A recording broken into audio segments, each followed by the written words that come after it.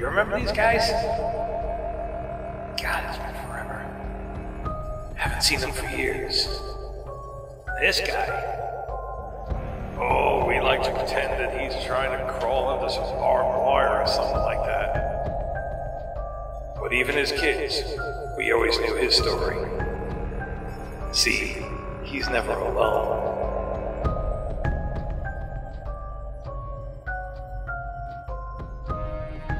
He's always with this guy.